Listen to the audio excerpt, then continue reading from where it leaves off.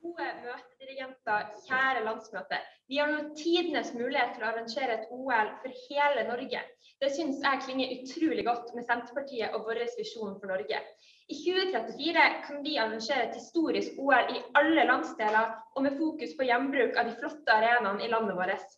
Vi kan ha alpint i de fantastiske bakkene i Narvik, vi kan ha langrenn i Trondheim, vi kan ha bob og skiskyting på Lillehammer, og vi kan ha ishockeyfinale i Stavanger. Jeg tror det norske folket trenger noe å se fram til etter denne rare tida. En folkefest som OL hadde virkelig gjort susen. Breddeidretten har også fått seg en smekk med en pandemi og en regjering som ikke lytter. Et OL i Norge hadde vært et fantastisk løft for norsk idrett og frivillighet. Det kommer til å gi økt rekruttering av unge som blir inspirert til å begynne med ski, skøyter, hockey med mer. Og vi har nå en unik mulighet til å redefinere hva et OL skal være og lage tidenes folkefest og fremme norske og demokratiske verdier.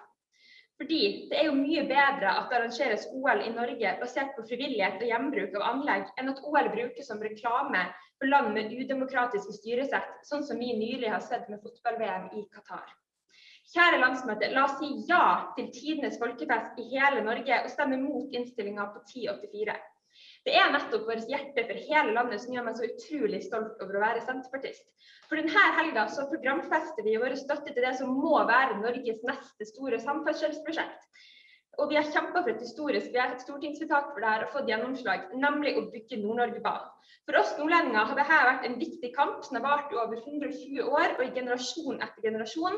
Og det er en kamp som ikke er over, for også vi kan sette oss på toget og si til dem som kommer etter seg, at det lønner seg å aldri gi opp.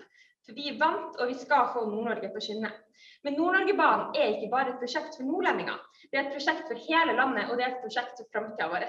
Så kjære senterpartister, nå skal vi få tog i nord, og jeg håper at vi skal vedta å arrangere OL i hele Norge. Godt landsmøte.